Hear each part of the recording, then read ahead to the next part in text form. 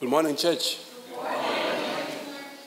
I'd like to invite your attention to the book of Job, Job chapter number three.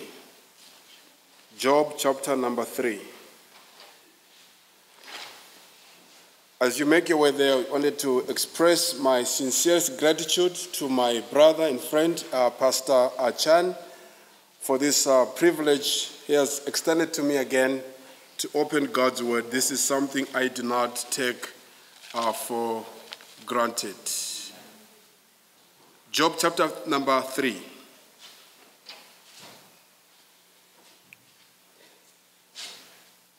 After this, Job opened his mouth and cursed the day of his birth. And Job said, Let the day perish on which I was born, and the night that said, A man is conceived. Let that day be darkness. May God above not seek it, nor light shine upon it. Let gloom and deep darkness claim it. Let clouds dwell upon it. Let the blackness of the day terrify it. That night let thick darkness seize it. Let it not rejoice among the days of the year. Let it not come into the number of the months. Behold, let that night be barren. Let no joyful cry enter it. Let those cursed who curse the day, who are ready to rouse up Leviathan, let the stars of his dawn be dark. Let it hope for light, but have none. Nor see the eyelids of the morning, because it not shut the doors of my mother's womb, nor hide trouble from my eyes. Verse 11 Why did I not die at birth? Come out from the womb and expire. Why did the knees receive me? Or why the breast that I should nurse? For then I would have lain down and been quiet.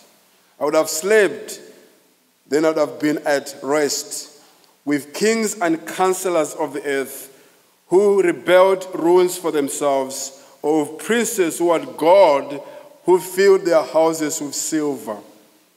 Why was I not as a hidden stillborn child, as infants who never see the light? There the wicked cease from troubling and there the weary are at rest. There the prisoners are at ease together. They hear not the voice of the taskmaster. The small and the great are there, and the slave is free from his master. Why is light given to him who is in misery, and life to the bitter in soul? Who long for death, but it comes not, and dig for it more than for hidden treasures who rejoice exceedingly and are glad when they find the grave. Why is light given to a man whose way is hidden, whom God has hedged in? For my sighing comes instead of my bread, and my groanings are poured out like water. For the thing that I fear comes upon me, and what I dread befalls me. I'm not at ease, nor am I quiet. I have no rest but trouble comes. Let's ask the Lord for his help and blessing. Heavenly Father, here is your word, and here are your people. This is not an easy word, but I pray, Lord, that you help me. As I open my mouth, what comes out of my mouth, Lord, may it be your very word. May you guide me, Lord, against error. May I be your mouthpiece. But I pray, Lord, that somebody may be encouraged this morning. Somebody, Lord God, may be comforted this morning. And where necessary, somebody may be corrected. Lord, we ask this for our good but ultimately for your glory. In Jesus' name we pray. And all God's people say, Amen. In 1993, my dear, beautiful mother died. I was 11 years old.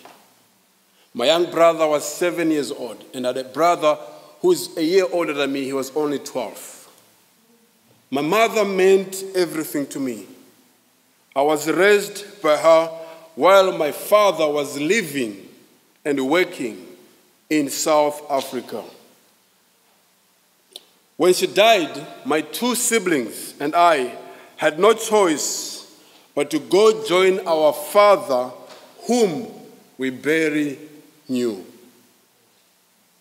All his life, even to this day, my father has been an alcoholic.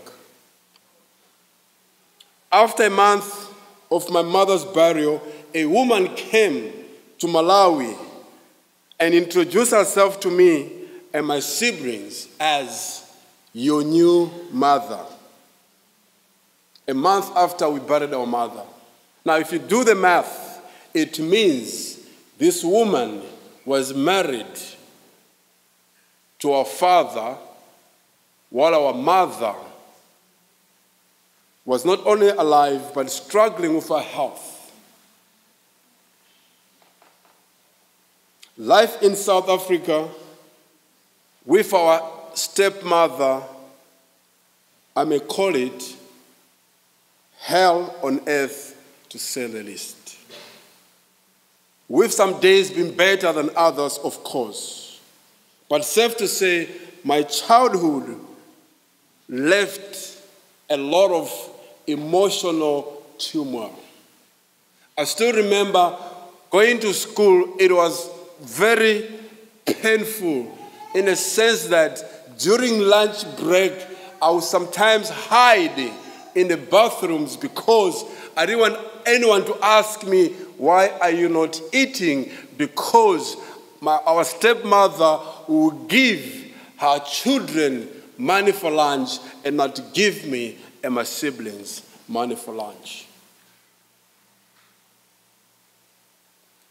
And my father, as I mentioned, he has been an alcoholic and only cared for number one, that for himself. And this frustrated my stepmother, and she took that frustration on me and my siblings.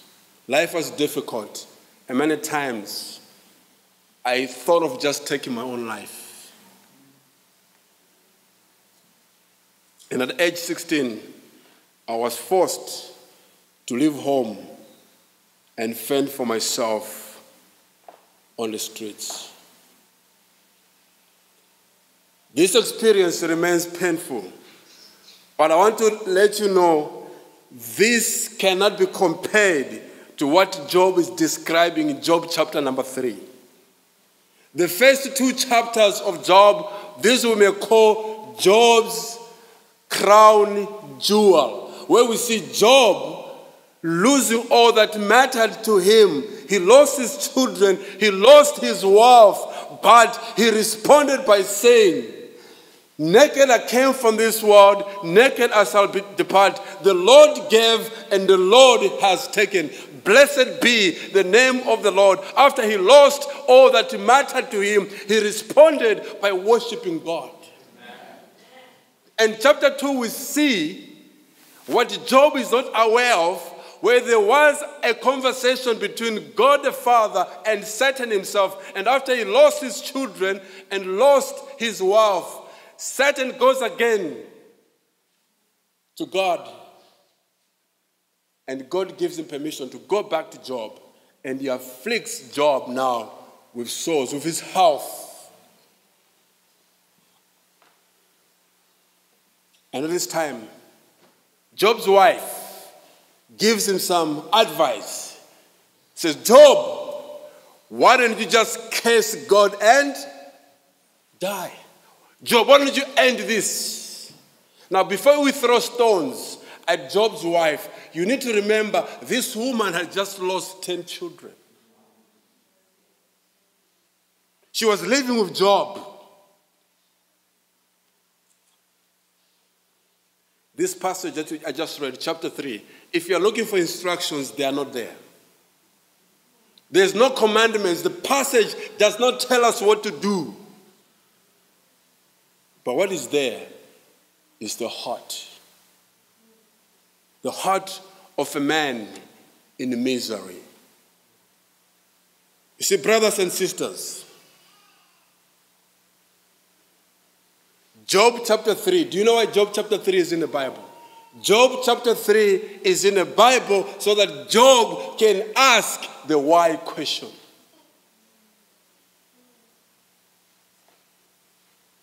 Mind you, you and I know what Job is going through. Why Job is going through what he's going through. Job did not know that. He did not know what is going on. And many times, the why question is actually triggered by meaningless or unexplained suffering. He's going through severe affliction. He does not know why that is going on. I never understood why I had to lose my dear, beautiful mother at that young age.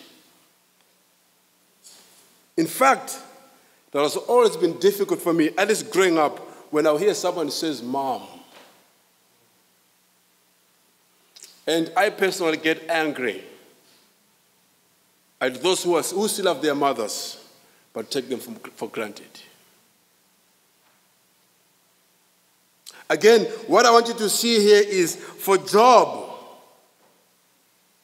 here is a man that God Himself has called an upright and blameless man. But now he's beginning to ask questions. But we need to place this in the right framework. At no point does Job abandon his faith. Even the passage our brother read in James chapter 5, Job is being commended for his steadfastness. At no point did he, did he, he accept his wife's advice to curse God. And it's because I believe Job knew God to be there, to be loving, to be just. Even I just love how we're greeting each other. God is good. God is what? Good. But we don't just say God is good. Where we come from, say He's good, and we say all the time. We don't only say all the time, we say that is His nature. But it's easy for us to be able to say that when all things are going smooth. Now, here's Job. He's asking for an explanation. But I want you to know that all his struggles, the struggles of Job, these are struggles of a believer. And this should remind us no one is immune to struggles. And this should also remind us, and I believe this was God's intent, it is so us that a human being can love God, fear God, pursue righteousness, yet still be aff- afflicted with trials. This is why those who think or teach that if you come to Christ, all your problems will be solved. I don't know what they'll do with Job chapter number three. So if you know, if you want to know where we're going, I have for us three responses in dealing with despair. Three responses in dealing with despair so that you will not be in despair. So, first response is that we are not to, we are not to question God's plan. We are not to question God's plan. This is what we see in verses 1 to 10. What is happening here? Job is questioning God, he's cursing God's plan. He's saying, God's plan was for me to be born. And he's saying, I want nothing to do with that. He's questioning God, why was I even born? Listen to the beautiful way he expresses that in verse uh, number one. How does he put it? it? says, Let the day perish. Let the day perish on which I was born, and the night that said, A man child is conceived. He's saying, Let that day be darkness. May God above not seek it, nor light shine upon it. Let gloom and deep darkness claim it. What's happening here? Job is looking back to the day of his birth. And although he cannot change that, he's saying, may the anniversary of it be ignored. Let it be a day that is darkened. Let no one rejoice in it. Now, if it was God's plan for Job to be born, what is going on here is that Job is questioning God's plan. That's what is going on here. Look at verse 10. Why is he questioning this? Look at the purpose statement.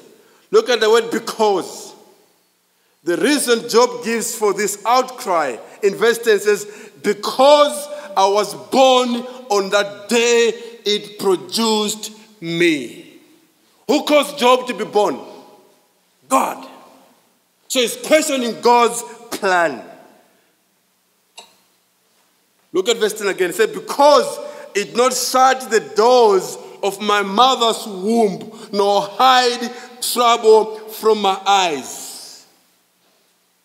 He's now longing for death. After all that he has enjoyed from God, he now comes close to cursing God, but thankfully he never does. He's only cursing the day of his birth. He's not cursing God himself, as the wife suggested he should, but he's cursing the day of his birth, and by extension, what he's doing, he's questioning God's plan. Friends, I do not think anything is harder for us to bear than unexplained trouble. He is asking, why was I born?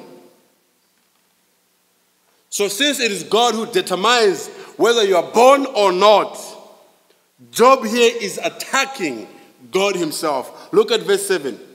Job is saying, Behold, let that night be barren, let no joyful cry enter it. Again, Job here is not seeking to take his life. Suicide is not an option. Although some commentators will say Job was yes suicidal, I want to disagree with that because if Job wanted to take his own life, who was stopping him? Nothing was stopping him. However, he wishes he was never born in the first place. It says, Cursed be the day of his birth. Now, Job's patience that we saw in chapter 1 and chapter 2 has become Job's despondency. Verse 8 is probably the lowest moment. Or as we say in this place, hitting rock bottom. Look at verse 8. It says, Let those cursed who curse the day, who are ready to rouse up Le- Leviathan. What's happening here? Job is invoking the magicians to wipe or blot out the day of his birth. He's even seeking the control of the monsters of the sea. But again, this doesn't fit, does it? Doesn't fit you for to know about Job, who is a man that is upright, a man that fears God.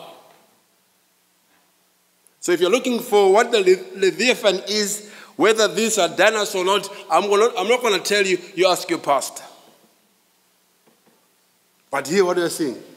Job is wishing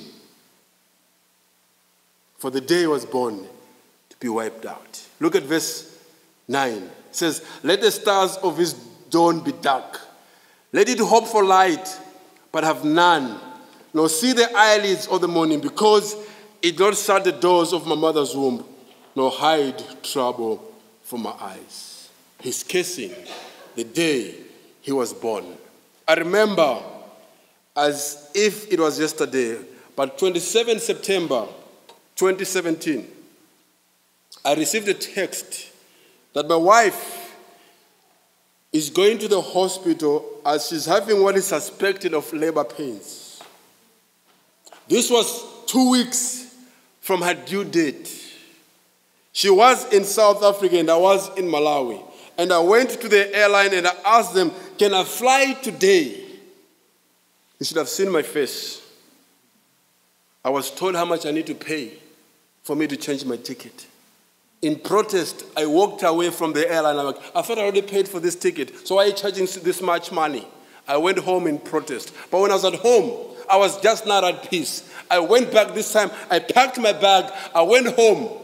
Excuse me, I went back to the airline. How much did you say I must pay again? I paid, I went straight to the airport. And I asked a friend to pick me up at an airport in South Africa and take me straight to the hospital where my wife was suspected to be in labor. And God's providence, this friend who picked me up, it just happens that he was actually celebrating his own birthday with his family. And I called him and he came to pick me up. He took me to the hospital. When I got to the hospital, they said only one guardian is allowed and your wife is with her mother. I said, You know what, nurse, go tell the mother to come out. I'm the guardian. I went inside the labor ward. This was the first time. I never experienced this. I was shocked. I'm seeing these men doctors with my wife there. What's going on here? Suffice to say, about 10, 15 minutes later, our son popped up. I will always cherish, I always rejoice in this day. So I'm surprised that Job is cursing the day that he was born. But do you know why we were born? Job himself tells us, if you can just turn two pages in your Bible, Job chapter 5, verse 7. Job is saying, I wish I was not born. But why is anyone born in the first place? Let Job answer the question himself. Job 5, verse 7. But man is born for what? For? For trouble. As the sparks fly away. Job can't handle God's plan. But the reality is this, brothers and sisters, when things don't go well, we should not be surprised. We should be surprised when things go well. Because man is born for trouble. We stand, we should, we must be still be able to say, It is well with my soul. We're born for trouble. Maybe let me ask you, what plan of God are you questioning right now?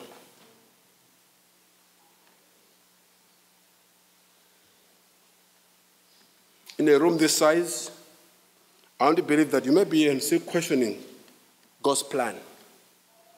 Maybe you're questioning God about the person you're married to, or your children, your in laws, how you look, your job, your church, your station in life. But the problem is this many times we obscure the memories or the joy, the goodness of God when we face difficulties. Maybe you might be there this morning, but you see, the reality is it's either right now you are going through a trial, or you're coming from a trial, or you're going into a trial. You just choose one. Job is not the only one who cares God in the Bible, is, is he? Maybe there's comfort numbers, but even the prophet Jeremiah, the weeping prophet, you know what he said in Jeremiah 20, verse 14? says, Cursed be the day which I was born. May the day when my mother gave birth to me not be blessed. And in chapter 15, Jeremiah said this Jeremiah 15, verse 10 says, Woe to me that you have given birth to me as a man of strife and a man of contention to all the land. I have not lent, nor have people lent money to me, yet everyone curses me. Here is a man that went through afflictions. He had a ministry that saw no converts. That's why he's called the weeping prophet. But history tells us this man was faithful. This was a, a true prophet of God. But even him, he's cursing the day of his birth.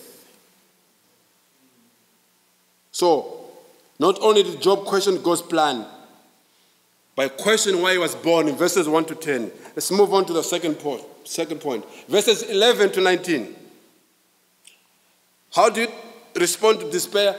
Don't question God's plan. Second, don't question God's purpose. So, verse 11, look at verse 11. Why did I not die? Stop there. God's plan was for Job to be born, right? We agree on that? And because he didn't die, we can conclude that God must have had a purpose for, for, for him. And then he's saying, if God allowed me to live, if he has a purpose for me, I don't like it. So, verse 11, you see, he's questioning God's purpose. How so, you may ask? Job is saying, Why didn't I die at birth? Well, you didn't die because God did not allow you to die. And if you didn't die, it's because He has a purpose for your life. Look at verse 12. Why did the knees receive me? If you know your Old Testament or if you know the Jewish culture, the knees, this is a reference to the Father. You see in Genesis chapter 48, when Jacob is about to die, he blesses his children and then he brings even Joseph, his son, and puts them in his knee. That's another way of embracing them. And he's saying, Job is saying, Why did the knees receive me? Why was I embraced at birth? Verse 13, he's saying, I should have been addressed if I didn't have this life today. And verse 14 and 14 says, I would have been of kings, I would have been of counselors with princes, verse 15, who lived it up on earth. But now it is. Job is saying there's people who are just living for themselves. When they die, they're at ease, they're at rest. I should be with those people. I don't want to live anymore. I just want to be at ease.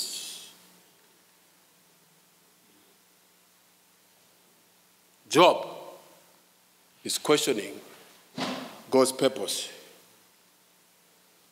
May I remind you again Job is not aware about exchange in heaven between God and Satan. So no wonder he's asking, what is the purpose of this test?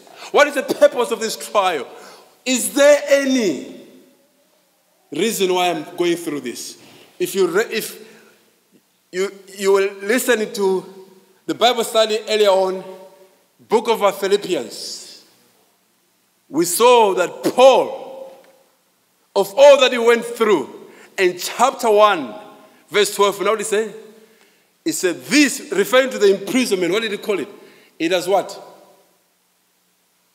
Saved to advance the gospel.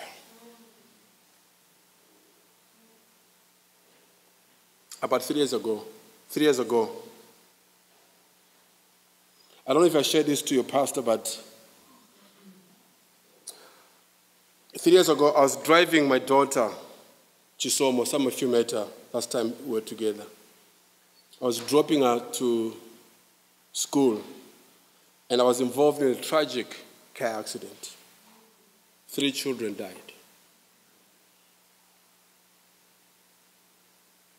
I was thrown in prison because I was charged with manslaughter.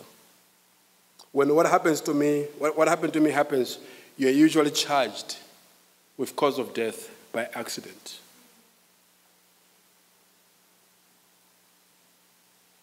I was thrown together with murderers, sodomists. If I say I feared for my life, that would be an understatement. The emotional torture that three children lost their lives because of my driving was heavy to bear. It remains heavy to bear today. I don't know what God was doing with all this. People came to see me. One of them is uh, Sam Shaw that I came with. He's the one who started even uh, driving my wife to come see me in prison. People come to me and out of uh, care for me, most people tell me, it is going to be okay. You're going to come out. This was an accident. But someone else helped me to begin to live while I was in prison. You know what he told me? And I'll confess to you, I didn't like what he said to me first. But he said this Newton, you are exactly where God wants you to be.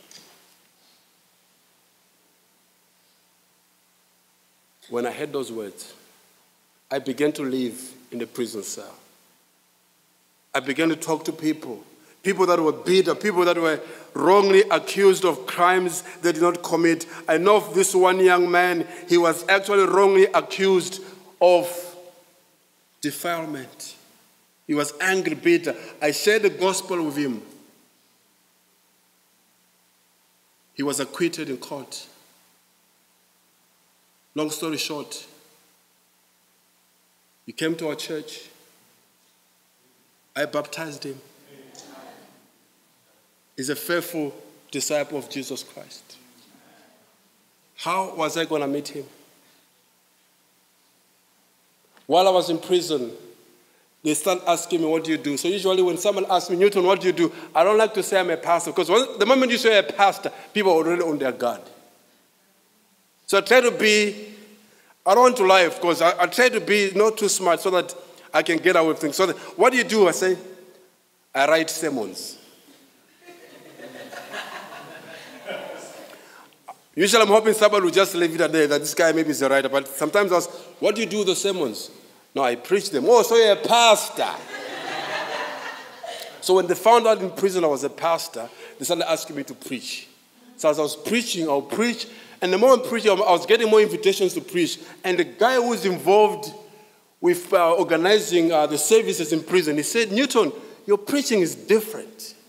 And what he meant is that most of the preaching in prison, someone will come and say, We're gonna God, we're gonna God, we're gonna God. And I'll stand and preach and say, Yes, we may go out, but I want to remind you even if you go out, but if you do not know Jesus Christ as a Lord and Savior, there awaits for you a bigger, heavier prison that will be there for all eternity. So, as I was getting more invitation to preach, this guy was in charge of all the services. He said, Newton, why don't you help these guys who are preaching? Teach them how to preach. Then I said, okay, not a problem. And I, I, I, said, guys, if you're interested for me to help you just to put together a sermon, I'm happy to do that. About 15, 20 people sign up. Then I asked uh, some friends to bring me the, the books. I think I asked for 20 books because it was about 15 that had signed up. The day I started teaching this, 60 men showed up in prison. And I'm saying all this to say, I realized indeed I was exactly where God wanted me to be. And that helped me to understand, my brother, my sister, don't waste your pain. There's always a purpose why God brings us whatever He brings us. Usually it is to serve a purpose, a purpose that is greater than ourselves. And our brother Job here, he did not know all that. That's why he's questioning God's purpose. He's saying, Job is saying, My life has been meaningless. It would have been better if I wasn't born. Now that he's born, he says, It's been better if I died at my birth. But why didn't Job, why didn't God take Job's life? Because God had a purpose for Job. Job's suffering was tremendous. But worse than that, there seemed to be no end in sight. So his pain, to his pain, and things not getting any better. Because even by this time, his friends have come, but they're just quiet. The pain was so unbearable. And you could paraphrase what Job is saying. Said, just kill me and get it over with. Job is not trying to take his life, but he's hoping God will take his life.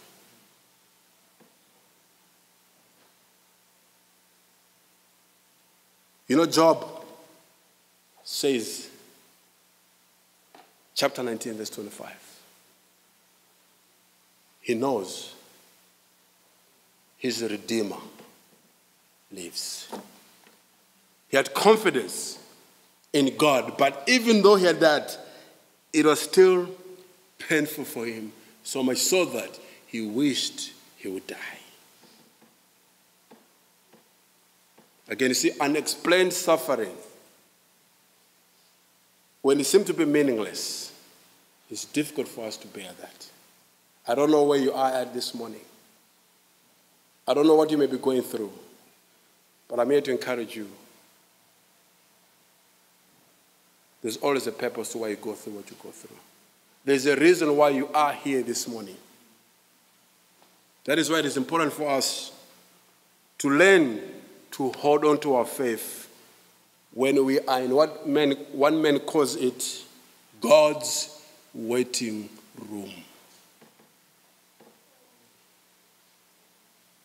Where we're waiting for answers or some relief, but they don't just come. Reminds me of that young man who was on fire for the Lord. The Lord seemed to have been with him, and he faced some trials and difficulties. And now he was protesting, Lord, I could see that when all things were well, you're with me, because there were some steps that were traced. But when things were difficult, he only saw one footsteps. And the Lord said, No, those, one foot, those footsteps were mine. I was holding you.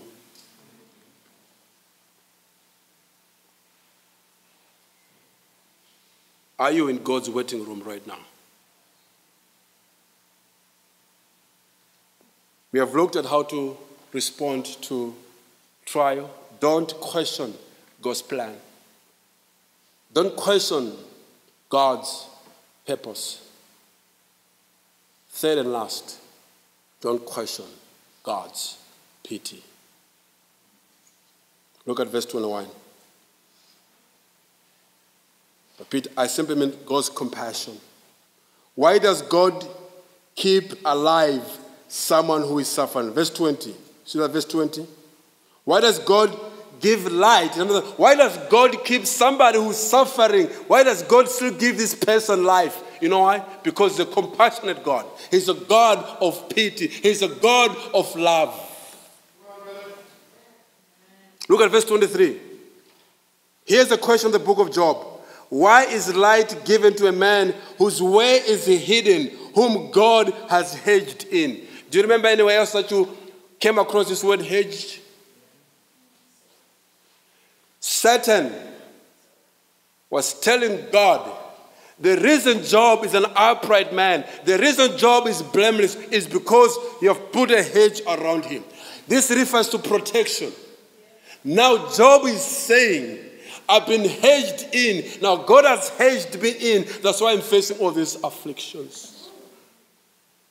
And then he's saying, Why is light given to one in misery?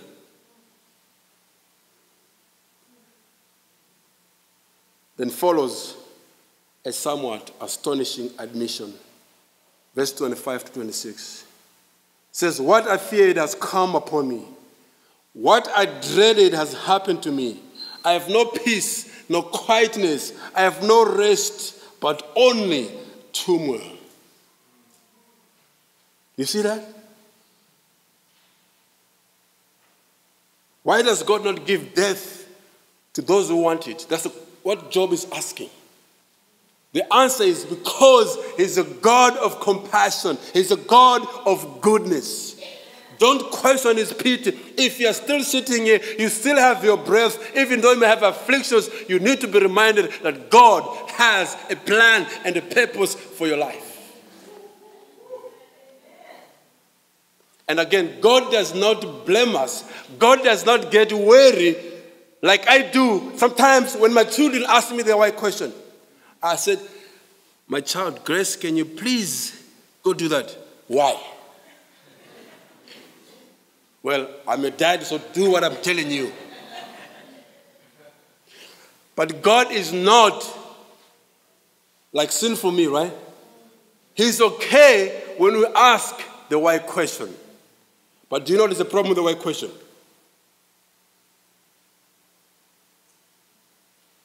The problem with the why question is this by focusing upon the why question, Job begins to lose the proper perspective he had earlier. And also, when you go through the book of Job, you realize God does not promise to answer the why question. He, has not, he doesn't promise to answer it.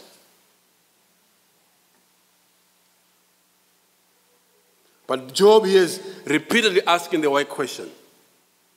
But again, he's asking this right question because he does not know the reason behind all his trials. But at the end, you see this asking the right question, brother, sister, is not necessarily a sin. At least it is not a sin to ask the why question if you are prepared to accept God's answer. The answer God gives. The answer Job gets in the end can only satisfy those who are willing to understand God's mysterious ways through the eyes of faith. Because when God shows up and answers God's Job's question, you know what God, what God says? Job, where were you when I created this world? Where were you? You know what was Job's response according to the Bible? The Bible says Job did this.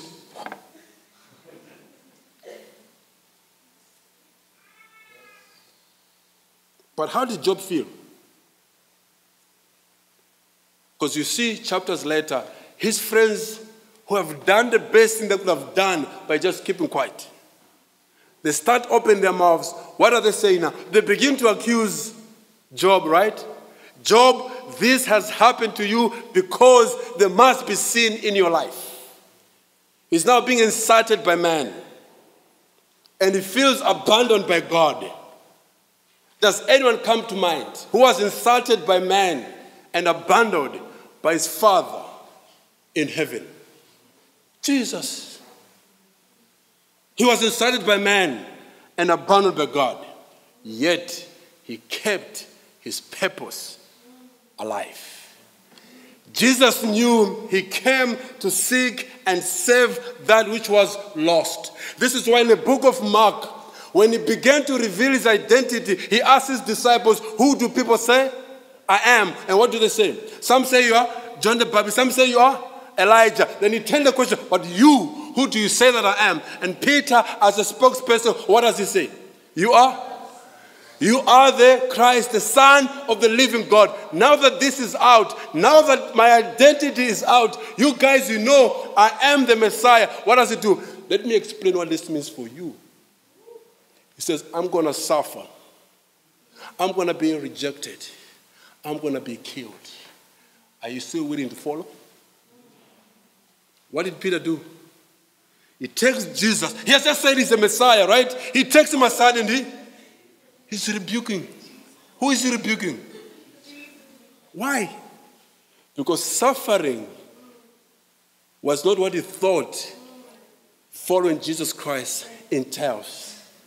But my brother, my sister, if you're going to follow Jesus Christ the way he wants to be followed, I can promise you, I can guarantee you, you are not greater than your master. This is part and parcel of following Jesus Christ. And Jesus Christ himself, he says, the way for me for the Messiah is that of rejection, suffering, and death, and I will rise again. And he says, you are to deny yourself, carry your cross, and follow me daily. So, what should we say in response to such suffering? There are three takeaways here. First, Job is correct not to curse God or blame God for what has happened to him. by resisting the temptation to do so, Job passes the trial and frustrates the purposes of the real enemy, that is the devil himself. And second, Job as a prophet, Job's own obedience points us ahead to the perfect obedience of Jesus Christ, who is the ground of Job's own justified status before God. And third, in all this, Job is an example to us in our own suffering. Following God does not make you immune to trials. But we know how the story of Job ends, right? After all this, there's a restoration to all that he lost. But more than just that, there's a restoration between the relationship of Job and God. And have you noticed that in all the book of Job, he never, not once, complained about the stuff that he lost. I hope all this will help us to understand that this, as much as led Job to ask the right question, yet Jesus Christ Himself, He redeems the why question. Because Jesus Christ in the Garden of Gethsemane, Matthew chapter number 27, you know what He says? My God, my God, why have you forsaken me? This means Jesus sanctifies the word question. And what is more, the one who hears and answers our prayers is a fellow sufferer. That's why the author of Hebrews, what does he say? He's able to sympathize with us. Brother, sister, don't think you're all by yourself. There's nothing that is unique to you.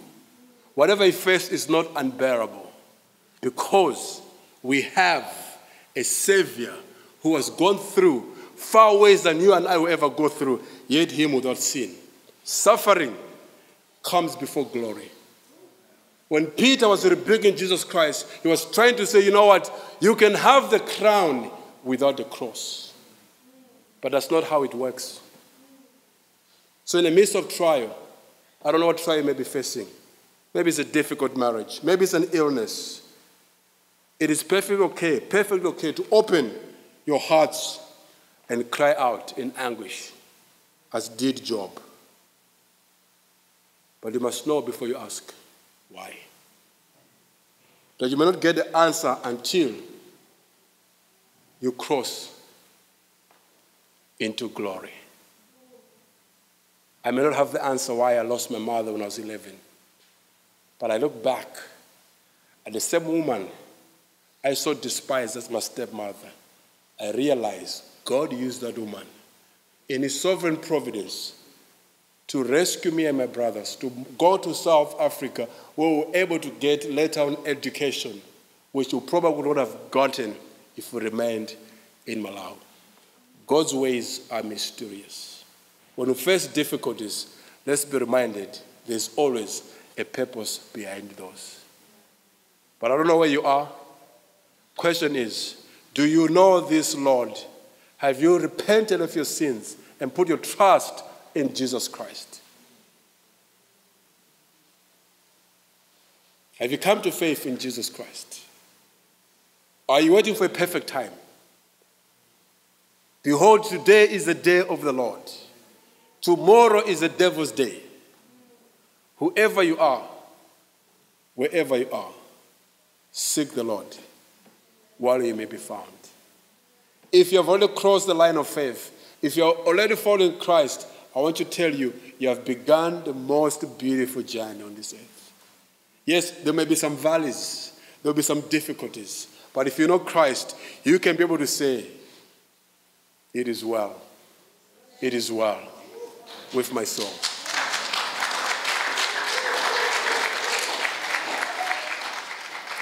Father, thank you for this uh, word. I pray you may continue to use it long after I've stopped speaking. Thank you, Lord God, for your goodness. Thank you, Lord, for your love. I pray that, Lord, your people will be encouraged, people will be strengthened. Thank you for the work you're doing here. Thank you for my dear brother and friend, uh, Pastor Chan. Encourage him, strengthen him, even as he continues to lead your flock. In Jesus' name we pray. All God's people say,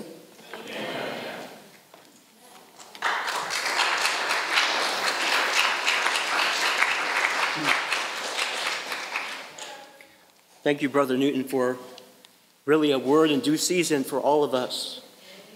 You know, just, just reflection. It's so wonderful to have God to be with us through Jesus, no matter what we're in.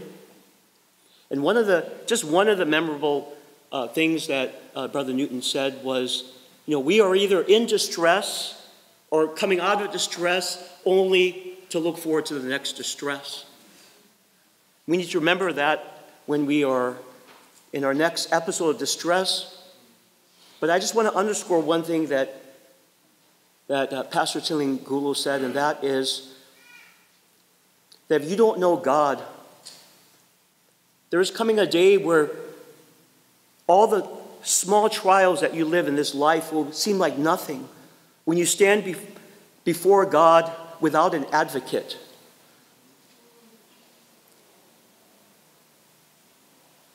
You know you need Jesus. Even in the trials of life, without an advocate by your side, you suffer torment and you know that you can't handle it. What will you do in the day when you stand before God? The Christian life is not easy. But if we have the Savior by our side, we, we can be more than victorious and triumphant through Jesus. Even through the valley of the shadow of death, we won't fear the evil because the Lord is with us. And the Lord needs to be with you, you who do not know God. You need Jesus. You need his advocacy because he died for you on the cross to pay for your sins, to save you from the day so that you won't have to stand before God. You will be redeemed, you'll be covered. So if you're not saved, if you don't have your sins forgiven, you don't know God through the Lord Jesus, I want you to come and talk to myself or Pastor Mello or Pastor Chilingulo. And you need Jesus. Don't, don't leave this auditorium before you talk about your soul. Let's all stand, please. Our Heavenly Father, we thank you so much that you used our, our brother indeed to be your mouthpiece this morning, to speak to our souls. We need to hear this. We need to remember that you're in control. And whatever you have designed, we will receive it by your grace, God, and to your glory. And we'll be that witness in that place, no matter how hard it is. Use us, God.